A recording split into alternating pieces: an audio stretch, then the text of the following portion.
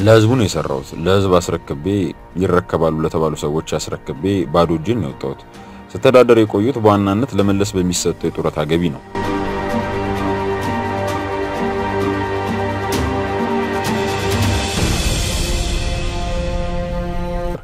ህወሓት እኔን ማስወጣቱ ትልቅ እድል ነው የሰጠኝ።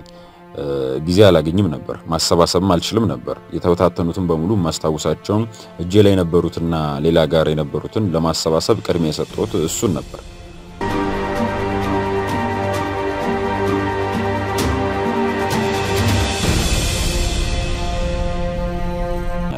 እና ቤተ መንግስትን ሳይ መለስን ቀብር የተመለስኩበትን ሰዓት ብቻ ነው የማስታውሰው።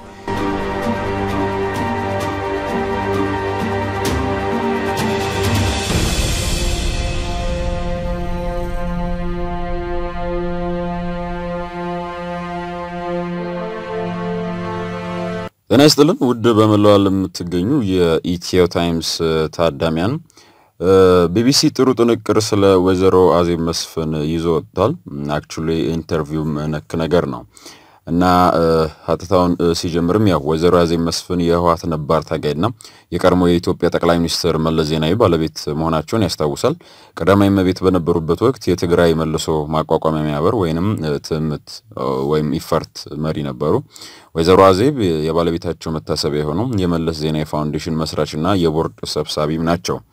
ያው እንግዲህ ስለ ወይዘሮ አዜብ በከተማው ብዙ ነገር ነው የሚወራው። በተለይ በወሬ ደረጃ ያው በሚናፈሱ ወሬዎች ደረጃ በርካታ ሀብት በማካበት እንዲህ የፎቅ ባለቤትነት ጉዳይም እንደዚሁ ይነሳል እና ያው በወሬ ደረጃ ነው የሚናፈሰው በብዛት እና እሱን ታኮ ምናልባት የቢቢሲ interview ከወይዘሮ አዜብ ጋር ያደረጉት ጥሩ መግለጫ ይሆነናል ብለን እንገምታለን። ስለ ሁኔታዎቹ የት ነው የሚኖሩት፣ ተቀማጭነቱትስ የት ነው የሚል ጥያቄ አንስቶላቸው ነበር።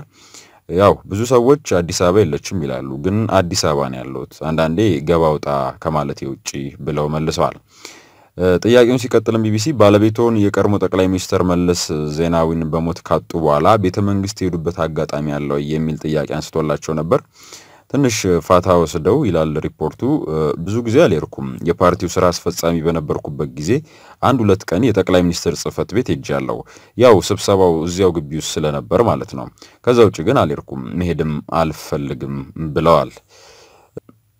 ለጠቅላይ ሚኒስትር አብይ አህመድ አስተዳደር ጊዜ ማለት ነው የሄዱት ብሎ ለማረጋገጥ ጥያቄ ድጋሚ አንስቶላቸው ነበር። አው በቅርቡ አንድ ጊዜ ሄድኩ ይመስለኛል ብሎ መልሷል። ሲያክሉም በስብሰባዎች ምክንያት ሴር ነበር፣ ነገር ግን ብዙም አልሄድኩበትም ብለው መልሷል። ጥያቄው ሲቀጥል የቢቢሲ ቤተ መንግስቱ ከልጆቹ ወይም ከቤተሰቡ ጋር ለረዥም ዓመታት የኖሩበት ነውና አይናፍቆትም ወይ የሚል ጥያቄ ነበር ያነሳላቸው። የተወሰነ አፍታ ያው በዝምታ ካለፉ በኋላ ወይዘሮ አዜብ በዛ ሳልፍ እንኳን ምንም ስሜት አይሰማኝም፣ ምክንያቱም አወጣጤ ላይ መለስን ቀብሬ ነው የወጣሁት እና ደግሞ ቤተ መንግስትን እንደ ታጋዮች ነው እየኖርንበት፣ የስራ ድርሻ ተሰጥቶን ነው እየኖርንበት። ከቤተ መንግስት ስንወጣ መለስን ቀብሬ እወጣለሁ ብዬ አላሰብኩም ነበር። ሁለታችን አብረን የምንወጣበትና እንደ ማንኛውም ኢትዮጵያዊ ነፃ ሆነን ተንቀሳቅሰን የምንኖርበትን ጊዜ እመኝ ነበር። እኔ ብንቀሳቀስም መለስ ግን የመንቀሳቀስ እድል አላገኘም ነበር። እዚያው እንደታሰረ እዚያው ቀብሬ መውጣቴ ይሰማኛል እና ቤተ መንግስትን ሳይ መለስን ቀብሬ የተመለስኩበትን ሰዓት ብቻ ነው የማስታውሰው። አስክሬኑን ይዤ የወጣሁበት ደቂቃዎች ብቻ ነው የማስታውሰው። ሌላው በሙሉ ለምን እንደሆነ አይገባኝም፣ ትዝ አይለኝም ብለው መልስ ሰጥቷል። የቢቢሲ ጥያቄ ቀጣዩ ባለቤቶ በሞት ከተለዩ ሰባት ዓመት ተቆጥሯል። እስካሁን ምን እየሰሩ ነው የቆዩት የሚል ጥያቄ አንስቶላቸው ነበር ለወይዘሮ አዜብ ሲመልሱም እንደሚታወቀው በፓርቲው ስራ ላይ አይደለም ያለሁት። እኔና ልጆችን የሚያስተዳድረን ስራዎች ለማስተካከል ደፋ ቀና ስል ነው የቆዩት። በተጨማሪ የዋናው ስራዬ የባለቤቴን ስራዎች ለማስቀጠል፣ ጽሁፎቹን ለማሳተም የሚያስችለን አጠቃላይ ዶክመንቱን በማዘጋጀት ላይ ነበር። ኮርሱም ተጠቃሏል ብለዋል። የቢቢሲ ቀጣይ ጥያቄ ውድ ታዳሚያን፣ ታዲያ ለግሎ መተዳደሪያ የሚሆን ስራ አሉት ወይ ወይም አገኙ ወይ የሚል ነበር ለወይዘሮ አዜብ ያነሳላቸው። የሚከተለውን የመለሱት። እሳቸውም በንግድ ዘርፍ ለመግባት እያሰብኩ ነው። እንዴት እንደምሰራ፣ መነሻ ገንዘቡን እንዴት እንደማገኝ ወይ ከሰዎች ጋር ሆኖ እስካሁን የተለያየ ድርጅትን ለማማከር ፓርቲው የንግድ ስራ ላይ አሰማርቶኝ ስለቆየው እኔን የሚመለከት ምንም አልነበረም። ለህዝቡ ነው የሰራሁት። ለህዝብ አስረክቤ ይረከባሉ ለተባሉ ሰዎች አስረክቤ ባዶ እጄን ነው የወጣሁት። ስተዳደር የቆዩት በዋናነት ለመለስ በሚሰጠው የጡረታ ገቢ ነው። እና ከቤተሰብ ከዛም ከዛም ያው ካሁን በኋላ ግን ያው የራሴን ስራዎች መስራት እፈልጋለሁ። አልፎ አልፎ ከተለያዩ ትልልቅ ድርጅቶች ጋር ለማማከርም ከእነርሱ ጋር ለመስራትም የምሞክርባቸው እዚህም እዚያም አሉ። ከተሳኩልኝ አንዳንድ ነገሮች ለመጀመር ፍላጎትና ዝግጁነት አለኝ ብለው መልሰዋል። ቢቢሲ ቀጣይ የጠየቃቸው የባለቤቱ የጡረታ ገንዘብ ምን ያህል ነው የሚል ነበር። በቀጥታ ነው መልሱን የመለሱት ውድ ታዳሚያን። በወር እስከ 14 ሺህ ብር ገደማ መሰለኝ ብለው መልሰዋል። በትዳር ስንት ዓመት ነው የቆዩት የሚል ጥያቄ ለወይዘሮ አዜብ እንዲሁ ተነስቶ ነበር። ኦው TPLF ሰርግ ከፈቀደ ጀምሮ እስከ መስዋዕቱ ድረስ አብረን ነበርን። ያ ማለት 25 ወይ 26 ዓመታት። ሶስት ልጆች አሉን። አንዷ በረሃ ነው የተወለደችው። ሁለቱን አዲስ አበባ ነው የወለድኳቸው። አንዱ ብዙ ጊዜ ሰው ይምታታበታል። እኔ አልወለድኩትም። እናት አለችው። ግን ያው የሟቹ ጓደኞችን ክንፈ ገብረ መድኅን ልጅ ያሳደግኩት ልጅ አለን። እናት አለችው። ግን የሟቹ ጓደኛችን ክንፈ ገብረ መድኅን ልጅ ነው እና ያሳደግኩት ልጅ አለኝ ያሳደግኩት ልጅ አለን ብለው መልሷል። ቀጣዩ ጥያቄ ሁሉም ልጆቹ ከእርሶ ጋር ነው የሚኖሩት የሚል ነበር። አሁን ለአባታቸው ሙት ዓመት ገብተው ነበር። አንዱ ወደ ውጭ ሀገር ሄዷል። ሶስቱ ግን ከኔው ጋር ነው ያሉት። እንግዲህ ራሳቸውንም እየቻሉ ነው። ተመርቋል። የጨረሱም ያልጨረሱም አሉ እና እነሱም ያው ጥግ ጥጋቸውን ይዛሉ ብለው መልሰዋል። የባለቤቱ መለስ ዜናዊን ዶክመንቶችና ጽሁፎች ሲያሰባስቡ እንደቆዩ ነግረውኛል። ምን ያህል ቢበረክቱ ነው ይህን ያህል ዓመት እየፈጀቦት ሲሉ ነበር የቢቢሲ ጥያቄ ለወይዘሮ አዜብ እየቀረበላቸው። ሲመልሱም ባለፈው ዓመት አሳውቀን ነበር። ወደ ስምንት መጽሐፍት ራሱ የደረሳቸው የራሱ መሆናቸው በራሱ የእጅ ጽሁፍ የተረጋገጡ ባለፈው ደግሞ በመንግስትና በፓርቲ ስም ሲወጡ የነበሩ ጽድት ብለው ዝግጅታቸውን የተጠናቀቁ ወደ ስምንት መጽሐፍት አሉ። ስለ ዲሞክራሲ የጻፈው በቅርቡ ይታተማል። ስለ ግብርና የጻፈው ሌሎችም ያው ጠቅለል ተደርገው በቅርቡ ይታተማሉ። ለወይዘሮ አዜብ ቀጣይ የተነሳው ጥያቄ መናፈሻው ላይም እየሰሩ እንደሆነ ገልጾልኛል። ከምን ደርሷል የመናፈሻው ጉዳይ የሚል ነበር። ወይዘሮ አዜብ ሲመልሱም መናፈሻው በጉለሌ ተራራ ላይ የሰፈረ ነው። በጣም ትልቅ ነው።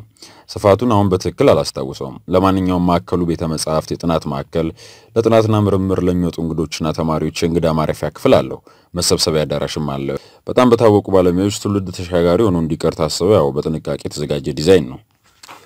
ቀጣዩ የቢቢሲ ወሳኝ ጥያቄና ለብዙዎች እንግዲህ ጥሩ ወይም ወሳኝ ጥያቄ ነው የተባለው እነዚህን ስራዎች ለማከናወን የገንዘብ ድጋፍ ከየት ነው የሚያገኙት ብሎ ለወይዘሮ አዜብ ያነሳላቸው ጥያቄ ነበር።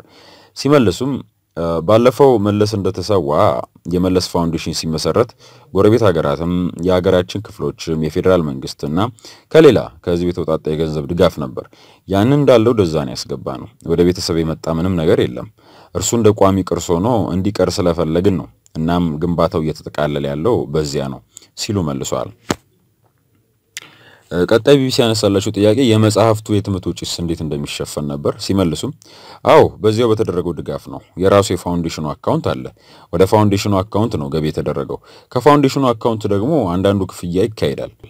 እርሱም ደግሞ ያው በየዓመቱ ኦዲት ይደረጋል ብለዋል። ቀጣይ ለወይዘሮ አዜብ የቀረበው ጥያቄ ፋውንዴሽኑ ላይ ያላቸው ሚና ምን እንደነበር ነው። ያው እንዳልኩት ባለፈው ዋና ትልቁ የኔ ስራ የተበታተኑ የመለስ ጽሁፎችን ማዘጋጀት ነበር። ህወሓት እኔን ማስወጣቱ ትልቅ እድል ነው የሰጠኝ። ጊዜ አላገኝም ነበር፣ ማሰባሰብም አልችልም ነበር። የተበታተኑትን በሙሉ ማስታወሳቸውን እጄ ላይ የነበሩትና ሌላ ጋር የነበሩትን ለማሰባሰብ ቅድሚያ የሰጠሁት እሱን ነበር። ሌላኛው የቢቢሲ ጥያቄ የህወሓት ግምገማና እርምጃ ወዴት ያመራ ይሆን የሚል ነበር። ወይዘሮ አዜብ ሲመልሱም ይህን አዘጋጅቶ digitized ማድረግ ለሚችሉ ለማስተላለፍ የጨረስኩትም በቅርቡ ነው። ዋናው ትኩረቴ የመለስን ሰነዶች የማዘጋጀት ያው ሳዘጋጅ ደግሞ categorize ለማድረግ እየተነበበ ስለሆነ ለማንበብ ትልቅ እድል ነው ያገኘሁት እና ዋናው ስራ እሱ ነው የነበረው። አልፎ አልፎም ሌሎች የምሰራቸው ነገሮች ነበሩ። ይህን ስላጠቃለልኩ ነው አሁን ወደ ሌላ ስራ መግባት አለብኝ የምለው ሲሉ መልሷል። ቢቢሲ የወደፊት እቅዶስ ምንድን ነው የሚል ጥያቄ አንስቶላቸው ነበር።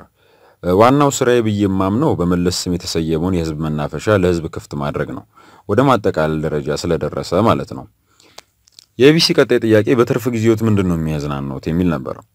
አትክልት እወዳለሁ። ጊዜን ከአበባ ጋር ከችግኝ ጋር ከአትክልቶች ጋር ባሳልፍ እመርጣለሁ። ቤቴን እወዳለሁ። ከቤት ውጭ ብዙ መውጣት አልፈልግም። ከስራ ወደ ቤት ነው የምመጣው። ስፖርት፣ walk ማድረግ፣ ረዥም መንገድም እንዲሁ አልፎ አልፎ ተራራዎች እወጣለሁ። የት ተራራ ወጥተው ያውቃሉ ወይዘሮ አዜብ የሚል ጥያቄ ነበር ቀጣይ የተነሳው። ያው ከሽሮ ሜዳ ወደ እንጦጦ ማርያም እወጣለሁ ብለዋል። ባለቤቱ የድምፃዊት አስቴር አወቀ ሙዚቃ አድናቂ እንደነበሩ ሲናገሩ ሰምቻለሁ። የእርሶስ ምርጫስ ሲል ቢቢሲ ጥያቄውን አንስቷል። በሴት ሪፖርተሩ በኩል የመለስ influence ወይም ተጽዕኖ መሰለኝ አስቴርን በጣም ወዳታለሁ። አልበሟ ከመኪና የተለይቶኝ አያውቅም። አዳዲስ የወጡ ሙዚቃዎችንም አደምጣለሁ፣ ሌሎች ብዙዎችንም አደምጣለሁ። ብዙ ጊዜ ግን የአስቴርን ሙዚቃ ወዳለሁ። በጣም ብዙ ጊዜ ከራሴ ሕይወት ጋር የሚገጥም ስለምትዘፍን ደጋግሜ እርሷን እሰማለሁ። ሌሎችንም ትግርኛ ሙዚቃዎች እሰማለሁ ብለዋል። የትኞቹ ሙዚቆች ናቸው ከራሱ ሕይወት ጋር የሚገጥሙት? አንድ ሁለት ምሳሌ ቢሰጡኝ ሲሉ ነበር ቢቢሲ ቀጣይ ጠየቀው። በጣም ብዙ አጋጣሚዎች ከህይወቴ ጋር ይገጥማሉ። ወደ ዝርዝር ልታስገቢ ነው እንጂ ለምሳሌ አንድ ጊዜ የዘፈነችው ዘፈን አለ ስለ ሰው ስለ ሰው ቀድጄ ልልበሰው የምትለው በዚያ ሰዓት ህዋት ውስጥ ያው መከፋፈል የገጠምበት ወቅት ነበር። እርሱ እኔን ካጋጠሙኝ አጋጣሚዎች ጋር ገጥሞልኝ ነበር። ወይዘሮ አዜብ ድምፃዊ ብዙነሽ በቀለንም እንደሚወዱ ገልጸዋል። ሲቀጥሉም አስቴር አወቀ ከመለስ መስዋዕትነት በፊት ያወጣችው ሲዲ ነበር ከትራሳችን የማይለይ ጨጨሆ ያለበት እዚያ አልበም ላይ አምስተኛ ወይም አራተኛ ቁጥር ያለው አለ ካለሱ በስተቀረ ሰው እንደሌለ ምናምን ብላ የምትዘፍነው እሱንም ወደዋለሁ ብሎ መልሰዋል። ያው መለስ ከተሰዋም በኋላ ያወጣችው ሲዲም ገጥሞልኛል። ስለዚህ አስቴር ትስማማኛለች ለእኔ ብሏል ወይዘሮ አዜብ። አቶ መለስ የአስቴር ሙዚቃ አብዝተው የሚወዱት ለምን ነበር? የተለየ ምክንያት ነበራቸው ሲል ነበር ቀጣይ ጥያቄ ያነሳላቸው ቢቢሲ። መለስ ሙዚቃ ማድመጥ ይወዳል። አድማጭ ብቻ አይመስለኝም። የሙዚቃ መሳሪያዎቹ እንዴት እንደገቡና የሚሰጡት ድምፅን ለይቶ ማውጣት ይችል ነበር። ግጥሞቹን፣ ትርጉማቸውን፣ ቅኔያቸውን ያውቃል። በጣም ትልቅ ዋጋ ይሰጣቸዋል። ከትግርኛ ዘፈኖች የታገ ኢያሱ በሬ ሙዚቃ በጣም ያደንቅ ነበር። የእርሱ ትግርኛ ብዙዎቻችን ሳይገባን መለስ ይገባው ነበር። ቅኔው ውስጥ ላይ ነው እና ይዘቱን የመተንተን ሙዚቃዎችን የማወቅ የመረዳት ችሎታ ነበረው። መለስ እንግሊዘኛም ሲሰማ እንደዛው ነው በነገራችን ላይ ብለው መልሰዋል። አቶ መለስ ያንጎራጉሩ ነበር ነበር የቢቢሲ የመጨረሻው ጥያቄ። አዎ በጣም ጠዋት ጠዋት ሲነሳ አሊያ ማታ ሲገባ ያንጎራጉር ነበር። ያው ድምፅ የለውም ግን ግጥሞቹ ይወጣሉ ብለው ወይዘሮ አዜብ መልሰዋል።